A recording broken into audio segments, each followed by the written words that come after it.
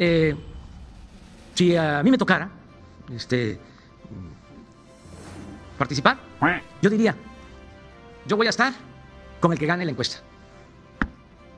Y de una vez lo voy a decir, para que no estarlo repitiendo, porque no me gusta meterme en estos asuntos. Pero también para lo nacional. Cuando se decida quién va a ser candidato de nuestro movimiento, voy a apoyar al que gane la encuesta, hombre o mujer. Ahí se voy a apoyar. Claro, solo con mi voto. Porque no puedo, no puedo utilizar, como era antes, los recursos públicos para beneficiar a ningún candidato y a ningún partido. Pero como ciudadanos, si me dicen eh, a quién va a apoyar de su movimiento, al que gane la encuesta, al que gane la encuesta.